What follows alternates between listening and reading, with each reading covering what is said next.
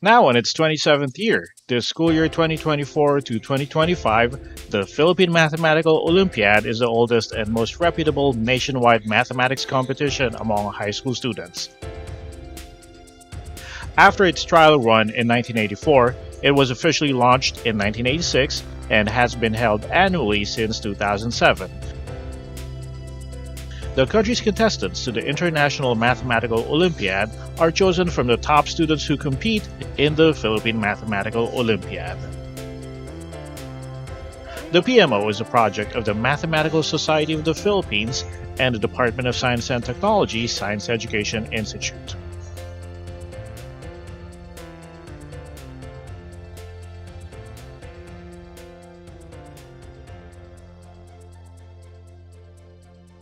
Welcome back to the PMO video series. My name is Immanuel Balete, and today we'll be discussing the sum and number of divisors of integers.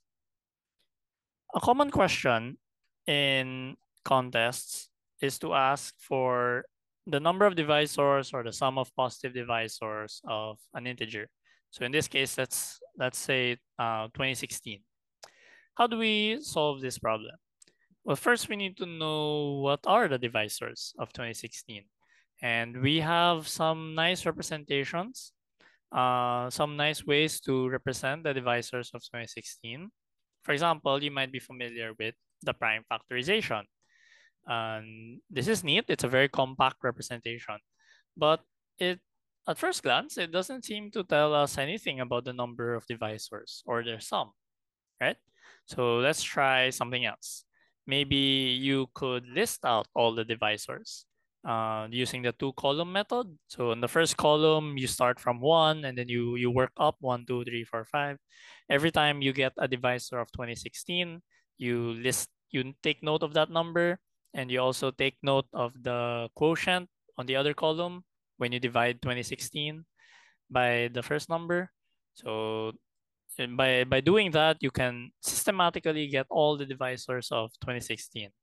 Okay, so now this is nice. You can you can easily get the number by counting, um, but it's a bit tedious and it doesn't tell us anything about the sum unless you want to add up all these numbers, which is also very tedious. So instead, we'll be trying uh, another kind of representation, which is based on the prime factorization, slightly modified, which looks like this. Uh, okay, so ignore the, the middle and the right. Just focus on this left part first. So this is the one for 2016. Remember 2016 is 2 raised to 5 times 3 squared times 7 raised to 1. So what we've done is uh, we've made three columns for one for each prime and you just list all the powers from 2 raised to 0 until the highest power that divides 2016. Okay. And what are we going to do here is we're going to choose one number from each column and then multiply those numbers together. For example, let's say I choose 2 raised to 1, 3 squared, 7 raised to 0. So if I multiply those together, I'll get 18. And 18 is indeed a factor of 2016. So why does this work? Uh, this works because all factors of 2016 should be of the form 2 raised to a times 3 raised to b times 7 raised to c, right? It's not possible for the factor of 2016 to have some new prime. Uh, the, the primes in the divisors should also be 2, 3, and 7. Uh, so yeah, so this method of choosing one number from each column will allow you to generate all the divisors of 2016. And this representation is neat because now we have we can easily find the number of divisors. The number of divisors is the number of ways to choose one number from each column. And how, how many ways are there to do that? Well, the first column has six choices. The second column has three choices. The third column has two choices. So if you multiply those together, there are 36 divisors. And how about the sum? The sum is a little trickier. We, we use a neat factoring. So you can actually factor the sum of divisors like this. And hopefully the representation above makes it easier to see why this works. Because this product, when you expand this product, what you're really doing is you are choosing one number, one term from each factor, and then you're multiplying them together. And you're doing this for all possible choices of choosing one term from each factor, right? You, you do it for all possible choices, and then you add all of those products together. So you're gonna add this together with, let's say, 2 raised to 0, 3 raised to 0, 7 raised to 0, and, and so on, right? You when you ex fully expand that product, you will be able to get all the factors of 2016 and you you will just add them all together. So this representation, I mean, this factoring does indeed capture the sum of all positive divisors of 2016. And this is neat because it's a lot easier to compute than adding a lot of numbers, right? This is 63 times uh, 13 times 8. And then if you compute, this is much easier to compute than adding a ton of numbers. Much less less arithmetic involved. So that's neat. Um, and okay, let's look at two more examples here. So I've placed two more examples. This, the one in the middle is for 210, right? 210 is 2 raised to 1 times 3 raised to 1 times 5 raised to 1 times 7 raised to 1. How many divisors does 210 have? The number of divisors is how many ways to choose one number from each column. So how many ways are there to choose one number from each column? That's 2 times 2 times 2 times 2 because you have two choices in each column. So that gives you 16. And the sum of the divisors is 2 raised to 0 plus 2 raised to 1 times, do the same thing for all the other primes. Uh, so that should give you 3 times 4 times 6 times 8, which is Mm, 576. Okay, so this is a lot. Uh, it's a very convenient formula because you can easily get the number and the sum of divisors. And finally, for the last number, you can try it on your own. This one is for 10,000. Now, what do we notice? What patterns do we notice about the two formulas we've been using? Um, for example, the number of divisors the number of divisors just depends on the number of numbers in each column, right? How many numbers are there in each column? Uh, the number of numbers in a column is based on the highest exponent. If your highest exponent, for example, here it's 5, then this column has 6 numbers because you go from 0 to 5. The exponent goes from 0 to 5. Uh, in this one, the highest exponent is 2. So you have three numbers, 2 plus 1, because you have to include 0. And finally, this one has two numbers because 1 plus 1. And same thing for all the others, right? Based on that, we can generalize the these properties to get this theorem. So if, you have a general prime factorization, p sub 1 raised to k sub 1, this is just a general prime factorization then the number of divisors, as we've mentioned, is take the prod take the exponents, take all of the exponents, add one to each of them because you're because remember the, the size of the column is exponent plus one. So add one to all the exponents and then multiply all the exponents together. And that gives you the number of positive divisors. Similarly, for the sum of positive divisors, like uh, just like we showed earlier, you you add up the numbers in each column. So from from here, right, you add up the numbers in each column. So add the numbers here, add the numbers here, add the numbers here, and then you multiply those sums together. So that's the basis for the second formula for the sum of divisors. So these two are very helpful to note. And once you've familiar with these two, you can already, just from the prime factorization, you can find the number of divisors and the sum of positive divisors of any integer. Great. Now let's try applying these on some PMO problems. from the this two problems from the 24th PMO. First, number 11. So how many positive integers n less than 2022 are there for which the sum of the odd positive divisors of n is 24? So pause the video here and then come back when you're ready to see the solution. Note, now the first thing we need to note is that we only want, we're only concerned with the odd divisors of n, okay? We don't want all the divisors of n, so we need to keep note of that. We can't use the previous formula exactly as it was since you only want the odd divisors. Okay, let's start with, let's say n is odd. Okay, we'll deal with the even numbers later, but let's keep things simple. Let's say n is odd. So the odd divisors of n uh, are simply all the divisors in this case because n is odd. And remember that uh, we have this, this form for the sum of divisors, right? So you want that product.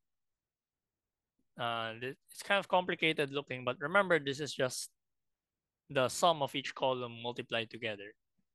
So you've got this long product and you want it to be equal to 24. Okay, so 24. We can factor 24 in a lot of ways, right? So maybe you could have 2 times 2 times 6 or 3 times 8. So there are lots of ways to split 24 into factors.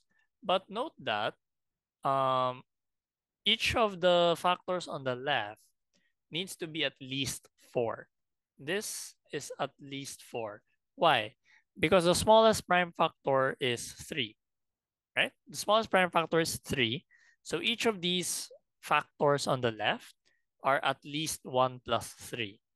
They're at least 1 plus 3, which means this is at least 4, this is at least 4, this is at least 4. So you cannot have more than 2 prime factors. Because the moment you have 3, the product will be at least 64, right? 4 times 4 times 4. So we know for sure that n, the odd, the odd number n, either has only one prime factor or it has two prime factors. You can't have more than that. So let's consider those two cases. Case one, one prime factor. So let's say n has only one prime factor.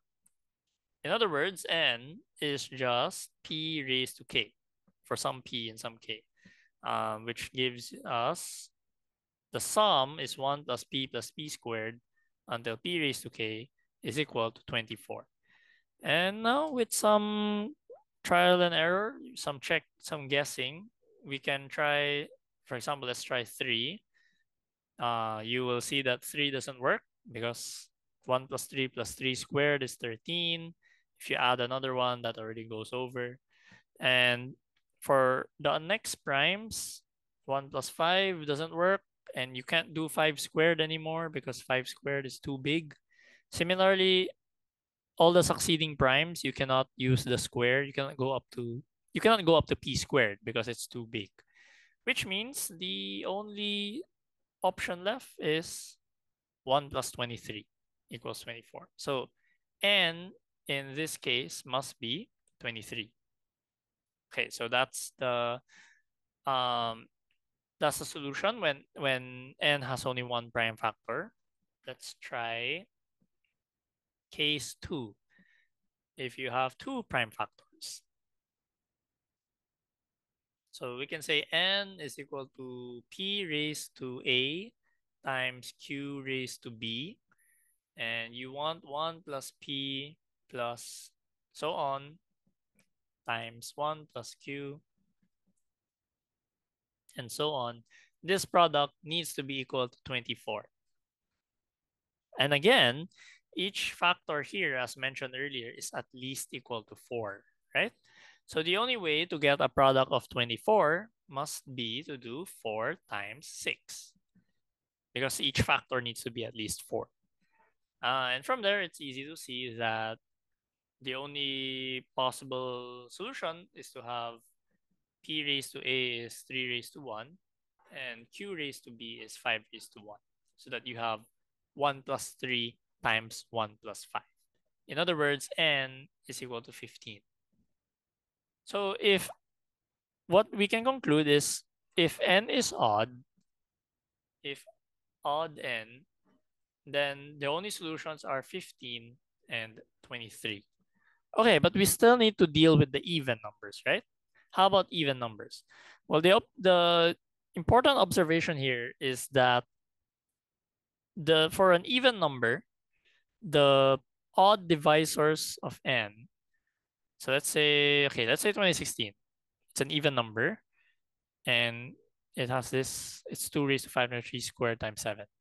But if you want to look at only the odd divisors of 2016, then essentially you just ignore this power of 2, right? All the odd divisors of 2016 are simply all the odd divisors of 63. In other words, if you multiply an integer by 2 or divide by 2, it doesn't affect the odd divisors. Okay. So that tells us the only even, the only possible even solutions come from multiplying 15 and 23 by some power of 2. So for the even solutions, the only possible even solutions are you take 15 and you keep multiplying by 2. So 30 also works, 60 also works. And all of these numbers will work because they all share the same odd divisors until 1000. So remember, we only go until 2022. So we stop at 1920. And for 23, we do the same thing, multiply by 2, multiply by 2, until you reach the limit. Okay, so that's too, next one's too big. And then we count. So there are a total of 1, 2, 3, 4, 5, 6, 7, 8, 9, 10, 11, 12. There are a total of 15 numbers in those two lists, which tells us the answer for this problem is letter D, 15. All right, now let's go to uh, number 18 from the same year. Let m and n be relatively prime positive integers. If m cubed times n raised to 5 has 209 positive divisors, then how many positive divisors does m raised to 5 times n cube have? Again, pause the video and try it out on your own first, and then come back to see the solution. The important thing in this problem, which is very subtle, is that m and n are relatively prime. This is actually a very important part of the problem because this tells us that m and n don't share any prime factors. For let's say m is equal to, because let, let's see what happens if they do share a prime factor, right? If m is equal to 2 times 3 and n equals 2 times 5, then m cubed times n raised to 5, if you want to find the prime factorization of this, you need to also consider the common prime factor uh, and that will account into your prime factorization. In other words, because m and n are relatively prime, it's actually a lot simpler to find the prime factorization of m cubed times n raised to 5. Okay? Remember, the number of divisors, remember that uh, to find the number of divisors, you take the exponents and then you add 1. Remember, it was something like this take the exponents, add one, multiply them all together. And we want this to be equal to, wait, sorry, you can't, we need to use a different variable. Uh, let's use x. We want this to be equal to 209. But what is 209 when you try to factor it? 209 is just 11 times 19. Uh, which means that m cubed times n raised to 5 you m cubed times n raised to 5, you actually really only have two choices. You either take 209, so it's either p raised to 208, where p is some prime, or you take p raised to 10 times q raised to 18. Okay, because this is the only way that um, this is the only way for your number of divisors to be equal to 209. You can easily check that the first case is impossible. Um, there's no way to, to get p raised to 208. Actually, it's fine. Let's go through it. So let's say case one, case one, it's p raised to 208. Remember that m and n are relatively prime. They don't share any prime factors, which means it's impossible for p to divide both m and n. So the only solution is m is equal to 1 and n raised to 5 is p raised to 208 or n is equal to 1 and m raised to 3 is p raised to 208. You can easily check both of these are impossible. Uh, you will not get an integer solution from this. So there are no solutions in this case. Case 2. M cubed times n raised to 5 is p raised to 10 times q raised to 18. Again, m and n don't share any prime factors. So either your only options are m is equal to 1, and then n raised to 5 needs to be all of that, which is clearly impossible because 18 is not divisible by 5. Or n is equal to 1, and m cube is equal to this, also impossible. Or m uh, m takes the p power and n takes q. This is also impossible. Or the last case, m needs to take all the powers of q, while n takes all the powers of p, which is possible. So now you have m. This is the only possible case. So we reject these three. Only this one is possible. So m must be q raised to 6 and n must be p squared for some primes p and q. Okay, but this isn't what the question is actually asking yet, right? We need to know how many positive divisors does m raised to 5 times n cubed have? Well, uh, we can easily find that now because m raised to 5 times n cubed will be equal to q raised to 30 times p raised to 6. So remember p and q are distinct primes. So this is already the prime factorization. Uh, and that tells us the number of divisors must be 1 plus 30 times 1 plus 6 equals 217. So that is the answer for this problem. And that's it for this video. Thanks for watching. I hope you learned a lot and see you next time.